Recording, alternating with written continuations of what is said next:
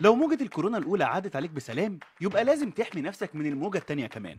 وعشان لازم ننزل ونتعامل مع الناس سواء في الشغل أو دراسة أو أي تعاملات يبقى اللي المفروض نعمله نقوي مناعتنا. وعشان كده سيلكس هيقدم لنا حماية سداسية متكاملة 6 في 1 أعلى نسبة فيتامين سي أعلى نسبة زنك 1000 أوميجا 3 حمض الفوليك كمان فيتامين ه والسيلينيوم. سيليكس بيعمل على تقوية وحماية كل خلايا الجسم ده غير تقوية الذاكرة والتركيز والنشاط وده مهم عشان الدراسة والشغل.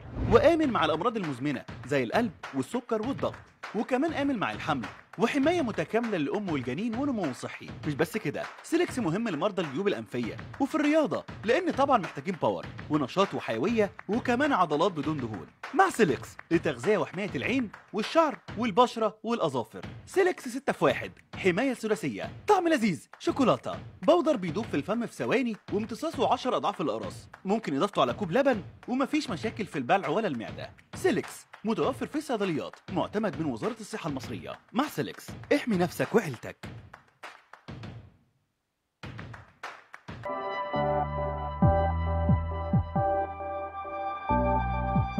رجعنا لكم تاني. موضوع مهم موضوع خشونة المفاصل وبالذات خشونة الركبة الموضوع اللي بيأرق كل بيت عندنا. مفيش بيت ما بيفوش آه، حد بيشتكي من موضوع الخشونة.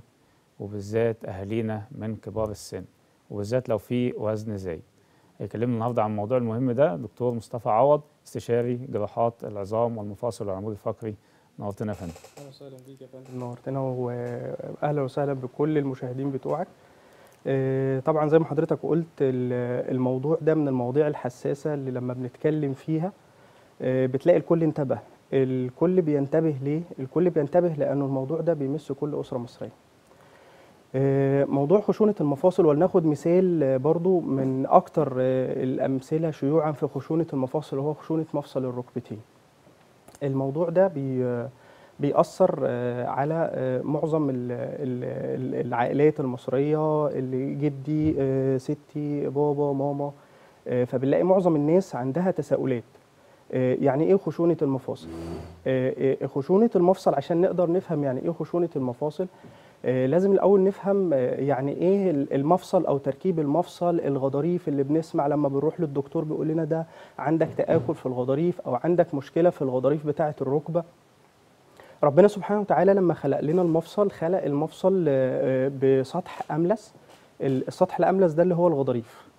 آه، ربنا خلقها بالصورة دي عشان يبقى فيه سهولة في الحركة بتاعة المفصل. آه، فاللي بيحصل إنه على مدار درجات الخشونة بيحصل تأثر في الغضاريف بتاعة المفصل الركبة على مثال. آه، آه، طبعا زي ما قلنا بيبقى في مراحل للموضوع. إحنا واحد ما بي- بينامش يصحى من النوم يلاقي نفسه عنده خشونة. لا الموضوع بيمر بمراحل كتير. آه، آه، أفضل مقولة في خشونة مفصل الركبتين الوقاية خير من العلاج. لأن إحنا كل ما بنبدأ يكون عندنا آه، بداية آه، للتدخل آه، بتكون الأمور أفضل. بيكون فيه تحسن على مستوى الاستجابة للعلاج. فطبعا هي دي خشونة المفاصل أو نبذة مختصرة جدا عن يعني إيه خشونة المفصل. طيب الأسباب بقى. عايزين نعرف واحد اتنين كده الأسباب بالظبط عشان حتى لو في حاجة الناس تقدر تتجنبها نحاول الأس- نتجنب آه، الحقيقة إنه الأسباب آه، في حاجات كتير جدا آه، آه، يعني آه، تقسيمات للأسباب بتاعه خشونة المفصل. في منها أسباب آه، تقسيمة إنه في أسباب أساسية أو أسباب ثانويه آه، اللي- زي مثلا الأسباب الأساسية اللي هي عوامل الخطورة اللي بتوصلنا لخشونة المفصل اللي هي عن طريق الديجنريشن آه، أو تآكل الغضاريف. غضاريف تمام. ال- ال- التقسيمة الأولى دي ليها عوامل خطورة. عوامل خطورة طبعا لو آه، سألنا أي حد من المشاهدين هيقول آه طبعا أهم حاجة فيهم زيادة الوزن. طبعا. ومفيش حد عانى من آه، خشونة المفصل الركبتين غير وراي- هو رايح عند الدكتور نفسه ما يسمعش الكلمة دي. هو للأسف بيسمعها. فطبعا آه، ال- الوزن أو زيادة الوزن بتأثر تأثر مباشر وغير مباشر على آه، آه، خشونة المفصل وخاصة خشونة مفصل الركبتين. الحاجات التانية الناس اللي بتبقى مضطرة إن هي تطلع سلم لفترات طويلة أو تطلع سلم كتير. تمام. آه، طلوع السلم ده من الحاجات اللي بتعمل تحميل مباشر على مفصل ال- ال- الركبة. آه، من من الأسباب برضو أو عوامل الخطورة ال- السن. يعني بنلاقي مثلا إن هو مع تطور السن وخاصة في السيدات ربنا يحفظهم لنا كلنا يعني إخواتنا وأمهاتنا وستاتنا.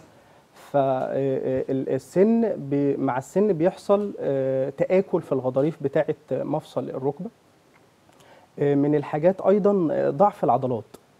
إحنا في للأسف تليفون؟ تليفون دكتور مصطفى؟ استاذه رباب؟ أيوه حضرتك. اتفضلي. دكتور مصطفى معاك. يا دكتور مصطفى. أهلا وسهلا بيك صباح النور.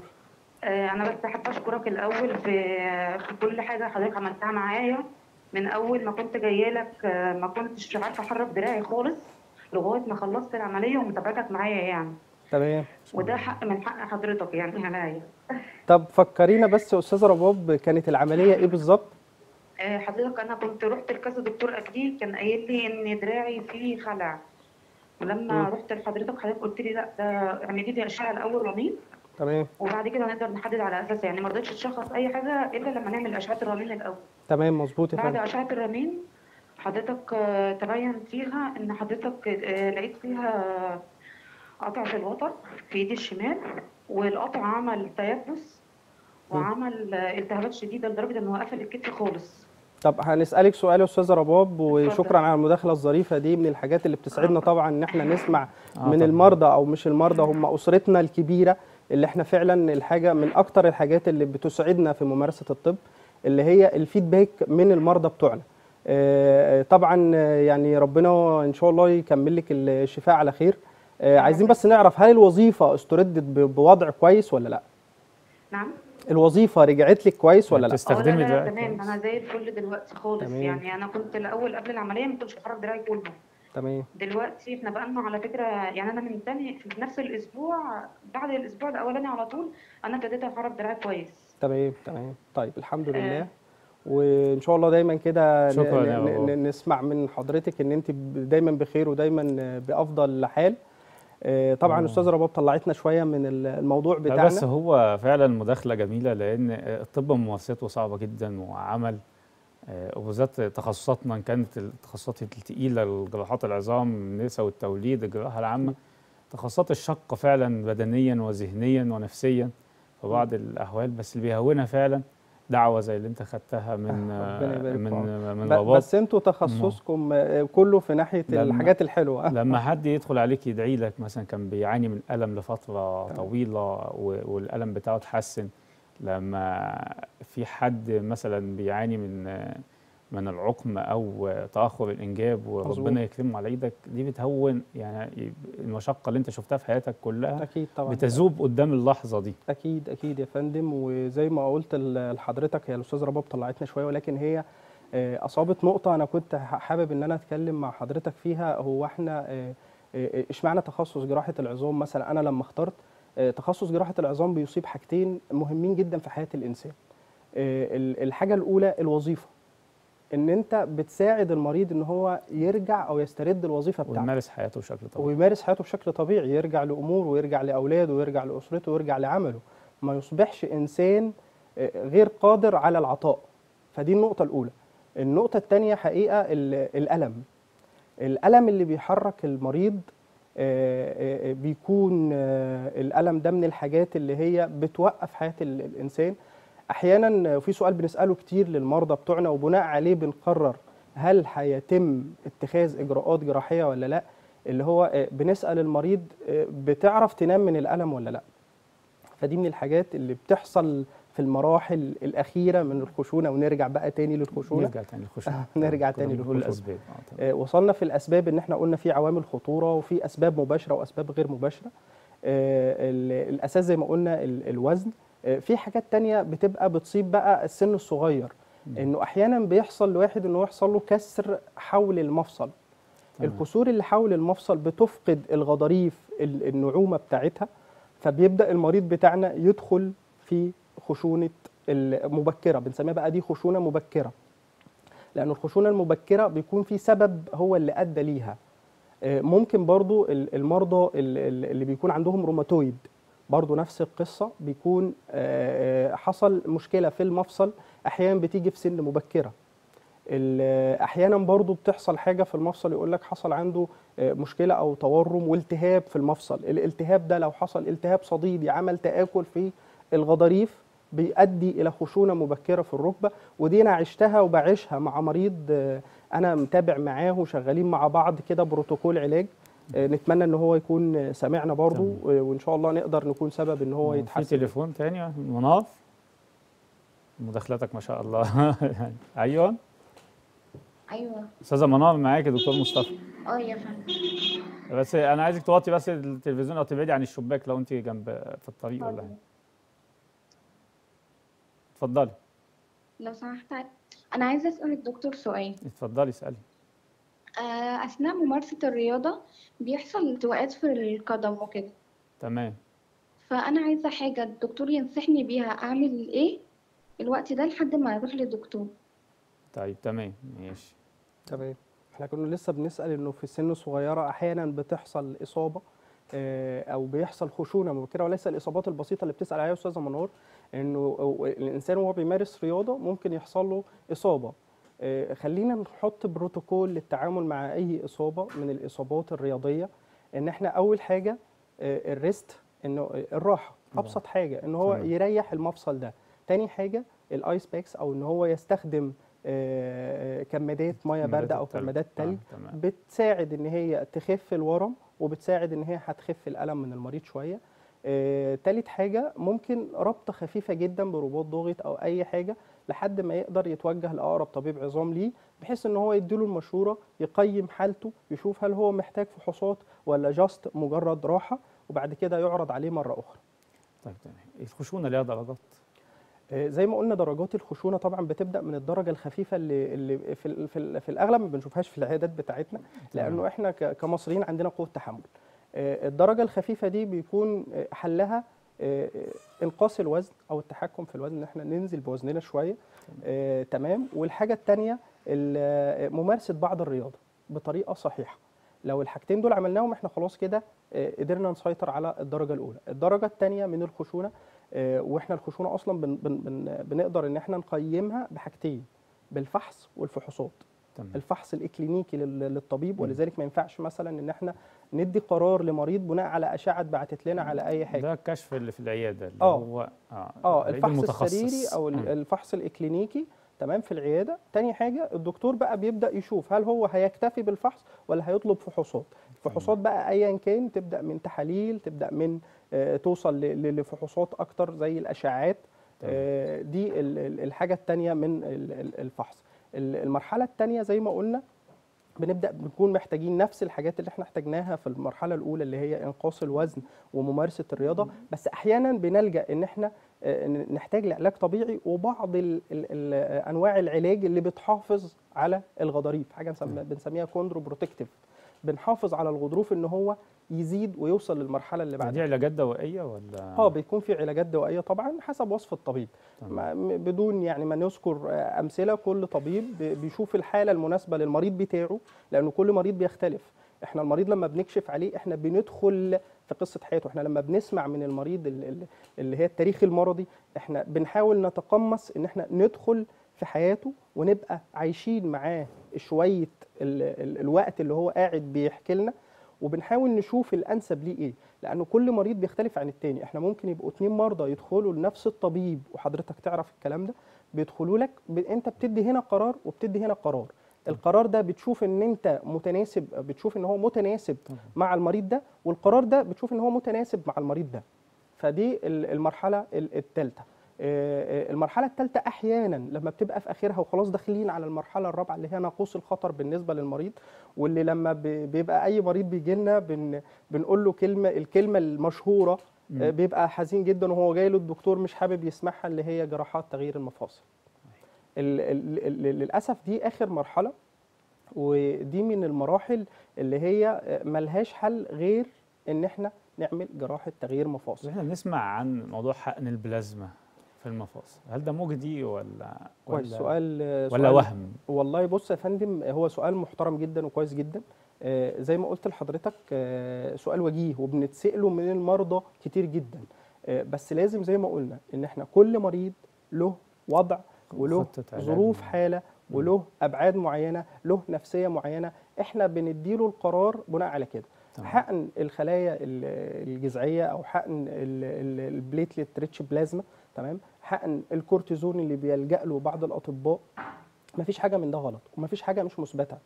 تمام. كله في research وفي أبحاث بتقول الكلام ده ولكن القرار بيعتمد على اتنين بيعتمد على ال- الطبيب وحالة المريض. تمام. نخش بقى أكتر في موضوع العمليات والجراحات. تمام. آه، إحنا طبعا آه، لما بيبقى في أي عملية أو في أي إجراء عايزين نقدمه للمريض بتاعنا بنركز يعني أنا مثلا عامل ليا زي بروتوكول كده في في في طريقة تجهيز للعمليات. تمام. أول حاجة آه، لابد إن أنا أطالع المريض بنفسي تمام؟ آه، مش بكتفي إن أنا مثلا ترسل لي آه، أشعة مثلا على الواتساب أو على أي وسيلة من وسائل التواصل. بطلب إن أنا أشوف المريض ودي أول حاجة وأهم حاجة على ده فكرة. لازم يحصل طبعا. آه دي أهم حاجة إن إحنا نشوف المريض بتاعي أبدأ أقيم الوضع بتاعه أبدأ أشوف هل الحالة بتاعه المريض طارئة للجراحة ولا ما تستدعيش طوارئ ونقدر إن إحنا نحط البلان براحتنا. لو في حاجات طوارئ أو إسعافات أولية أو حاجة معينة لازم تتعمل آه، بنعملها طبعا. آه، بعد كده بقى بنبدأ نخطط أنا والمريض سوا. إن إحنا قدامنا بشرح له مثلا إحنا قدامنا بلان A وبلان B خطة ألف وخطة ب. في الخطة دي إحنا بنحط بنقول له مثلا إحنا هن- هنعمل كذا هنركب كذا هنستخدم كذا. آه، ال- الوضع ده في الأغلب بيبقى من فترة من إلى بنديله time تمام؟ آه، بناء على ال time ده آه، ده ده العادي. إن إحنا مثلا ال- الاستجابة أو ال healing أو ال- اللحام بتاع العظم من إلى. طيب ال plan A ده لو ما كانش هل إحنا خلاص هن- هنقفل العملية ونطلع؟ لا طبعا. بيكون في plan B وبنبقى محضرينه بآلاته بتجهيزاته بنبقى مبلغين بيه المريض آه، بحيث إنه المريض يشاركنا القرار. طبعا إحنا في أنواع للمرضى. أنا بحب دايما إن أنا أشرك المريض بتاعي معايا في القرار وإن أنا أشرح له كل حاجة بحيث إن إحنا نبقى مع بعض إحنا بنكمل بعض. هو بيلتزم باللي أنا بقوله وأنا بحاول إن أنا أعمل قصارى جهدي إن أنا أقدم له معانا مداخلة؟ كويس. اتفضل. ألو السلام عليكم. اتفضلي. عليكم السلام. آه أنا دكتور حابة أشكر الدكتور مصطفى اولا. أهلا وسهلا. آه معاك مدام نعم. منى. ازيك يا مدام منى. آه، اتفضلي. أهلا وسهلا. إزاي؟ ازي حضرتك يا دكتور؟ الحمد لله بخير يا فندم. آه حابة أشكرك طبعا اولا آه، على أنا ليا تجربتين مع حضرتك. تمام. آه تجربة خاصة بي أنا. يعني كنت بحس بألم شديد جدا في دراعي. طب حضرتك كنت بتتابع معانا في أي عيادة يا فندم؟ نعم يا دكتور. كنت بتتابع معانا في المعادي عيادة؟ ولا عيادة؟ أسوان؟ آه في عيادة أسوان أنا من أسوان. آه، تمام أهلنا وناسنا بقى. آه. طبعا. آه والحمد لله يعني خدت كورس العلاج شهرين والحمد لله بقالي سنة ونص يعني ما اشتكتش من دراعي خالص. إن شاء الله الحمد لله شاء الله. الحمد لله. الحمد لله الفضل يرجع لحضرتك يا دكتور. الفضل لله. لله قبل أي حاجة آه. طبعا أستاذة منى وشكرا ليكي و... شكرا على مداخلتك الجميلة. ورسم الابتسامة علينا بصراحة دي حاجة بترجع للمرضى بتوعنا وتوفيق من ربنا قبل أي حاجة. يعني بقول لحضرتك دي أحسن لحظة الواحد يعيشها. ان هو يخفف الام آه، أكيد المريض. طبعاً. أكيد أكيد. نكمل في موضوع الجراحات والعلاجات. آه، بس فبنبدأ بقى بنحط البروتوكول بتاعنا وبنبدأ نشتغل بنبقى مجهزين كل حاجة بناء على البروتوكول اللي إحنا حاطيناه آه، إحنا أنا عن نفسي بحط كده بروتوكول برضو معين عشان بعض الناس يقول لك أصل المريض بتاعي بيتصل بيا في أوقات مش مناسبة. بص يا فندم آه، أنا مثلا في أول 24 ساعة بعد العملية المريض متاح إن هو يتصل في أي وقت.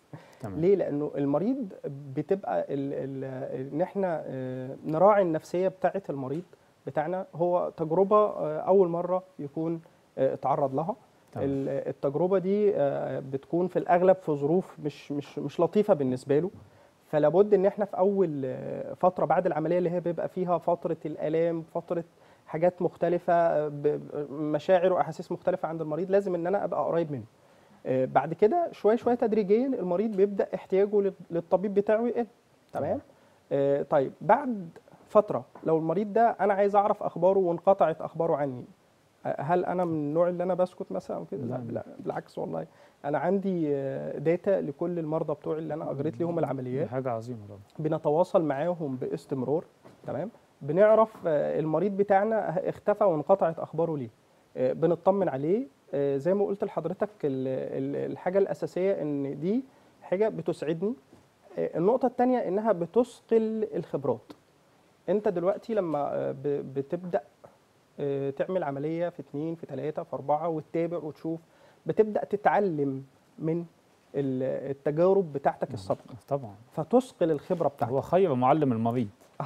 يعني اساتذتنا كانت تقول لنا كده يعني آه، خير معلم للطب هو المريض بتاعك أكيد طبعا بس المتابعة المستمرة مع. المريض وإن أنت تلاحظ التطور بتاع المريض بتاعك دي من الحاجات اللي بتثقل الخبرة بتاعه. الطبيب آه، حقيقة يعني طبعا. عايزين نتكلم على يعني ال- ال- الاستراتيجية برضه بتاعت آه، جروب الواتساب وصفحة الفيس زي حضرتك متابعهم. الاثنين بنفسك كده وبتقدر فعلا تتع- تتواصل مع كل المرضى بنفسك. لا هو حقيقه وده شيء صعب حقيقي. إن- إن- حقيقة ال- الصفحة آه، في أدمن مجموعة أدمن آه، بيساعدوني في إدارتها لأنه الموضوع آه، زي ما حضرتك عارف إحنا في وقت طويل جدا سواء في العيادة أو في العمليات فبيبقى في صعوبة إن أنت تبقى متابع باستمرار. ولكن آه، آه، أي شيء استفسار طبي أو أي حاجة ال- بيقوم الأدمن إن هم بي- بيرجعوا لي. دكتور في حد بيستفسر على حاجة طبية لو ينفع إن إحنا نديله مشورة بنديها له. تمام. لو بيستوجب الفحص بنقول له اتفضل شرفنا آه، في في العيادة نقدر نشوفك في أي وضع كان. يعني إحنا ما بن- ما بنقفش مع المريض بتاعنا في أي نقطة ايا كانت تمام. يقدر يشرفنا في العيادة آه، أو في أي عيادة من العيادات بتاعتنا وبنقوم باللازم معاه. ال- النقطة الثانية في جروب واتساب أنا جاتني الفكرة من فترة كنت اتعرضت إن أنا كان معايا مريض آه، كان عنده مشكلة في صباعه كان شغال في الرخام فتعرض لمشكلة تحت الآلة بتاعة شق الرخام. فكان لازم أتحرك بسرعة. تمام. تمام؟ أنا ما كانش عندي مشكلة خالص إن أنا آه، يعني آه، أتطوع بالجزء اللي هو ال ال ال الأتعاب الجراحية بتاعتي ما كانش في عندي أي. مشكلة. ولكن كان التحضيرات والتجهيزات بصراحة كانت كبيرة شوية. وكنت عرضت الموضوع على حد من أهل الخير آه، فبمجرد ما عرضت عليه الموضوع وافق ورحب وعمل معايا الموضوع ده مرة واتنين فبدأت آه، إن أنا أفكر طب ليه ما نخليش الموضوع يكبر مع بعض شوية؟ آه، بدأت إن أنا عملت جروب واتساب من بعض الناس اللي أنا عرضت عليهم الفكرة وافقوا لما بيبقى عندي أي حالة طارئة تستوجب تدخل جراحي سريع بنبدأ نلجأ آه، ده بقى الجروب الواتساب ده معايا أنا شخصيا. آه، ببدأ إن أنا أعرض يا جماعة والله أنا عندي مريض أشعته أهي في في المكان الفلاني محتاج كذا ويملك جزء من التكلفة أو ما يملكش التكلفة خالص ومحتاج تدخل جراحي عاجل. آه، طبعا في بعض المرضى بيكونوا آه، راحوا للمستشفيات الجامعية أو الحكومية. ولكن زي ما إحنا عارفين آه، يعني آه، نرفع القبعه لل- لل- للهيئات العاملة في المستشفيات الجامعية والحكومية بيبقى عليهم لود طبعاً، وضغط طبعاً، رهيب جدا. طبعاً. ففي بعض الأحيان على على على غير رغبة منهم ما بيبقاش عندهم مكان للمريض على علمهم إن هو مريض urgent أو مستعجل أو إن هو لازم يتعمل للتدخل فبدأت إن أنا أترجم الكلام ده على أرض الواقع إن إحنا من التجربة الأولانية والثانيه ضفت المجموعة من أهل الخير دول على جروب الواتساب محدش فيهم يعرف التاني ولكن كل اللي بيجمعهم إن هم عايزين يعملوا خير في وقت التوقيت فيه مهم يعني طبعاً. أنت لاحظ. أنت. مريض جالك التوقيت مثلا أنت من 6 ل 8 ساعات فأنت محتاج إن محتاج أنت حد يتبرع له في الوقت ده. في الوقت المناسب. ما هو التبرع مم. في الوقت المناسب. الفكرة دي دي حاجة عظيمة جدا. يعني أنا آه أنا مبسوط جدا ب- ب- بالموضوع ده و وإن شاء الله يعني يا ريت آه، كلنا كأطباء نعمله. يعني دي. حاجة عظيمة فعلا حضرتك عملتها. آه، موضوع إن أنت فعلا تربط ما بين الناس ال- اللي حابة الخير والناس فعلا اللي محتاجة هو ده ما بيكونش يعرف ده آه، بس ده بيدعي دعوة آه. يعني المريض عايز أقول لك المريض بيدعو دعوة صادقة. للي ساعده وهو ما يعرفوش بس. بتبقى دعوة صادقة من القلب وفي مساعدة من القلب برضه ربنا يجازيك خير يا رب على اللي انت. عملته ونموذج فعلا كلنا نحتذي ربنا كاطباء يبارك بعد كده. أشكرك. على ال- الفقرة الجميلة دي العفو يا فندم انت شاء اللي الله. أسعدتني بالمداخلات وبوجودي مع آه. حضرتك يا فندم وبالمشاهدين بتوعنا يا رب يكونوا استمتعوا في الحاجات إحنا كلنا البوينت استفدنا الصغيرة صراحة اللي إحنا وعلى وعد. إن شاء الله وحلقات جاية إن شاء الله عشان نستفيد أكتر إن شاء الله بإذن الله. آه، مشاهدينا مشاهدين برنامج إنت الطبيبه وقناة الصحه والجمال كنا معاكم على مدار ساعة كاملة آه، نشوفكم على خير إن شاء الله الحلقة الجاية. وشكرا